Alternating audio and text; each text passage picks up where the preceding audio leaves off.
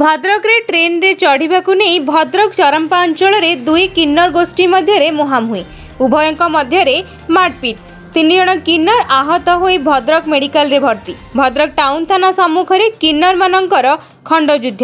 থানা পরিসরের সৃষ্টি হয়েছে অস্বাভাবিক পরিস্থিতি ঘটনাস্থলের এক প্লাটুন পুলিশ ফোর্স মুতয়ন লে উভয় পক্ষর থানার এতলা ভদ্রকরু पुनील कुमार सामंत को report blackout news blackout news letter pipe download करूँ ब्लैकआउट न्यूज आंड्रॉइड आप गूगल प्ले स्टोर और लाइक करूँ आम फेसबुक पेज को सब्सक्राइब कर दिखाँ आम यूट्यूब चैनल को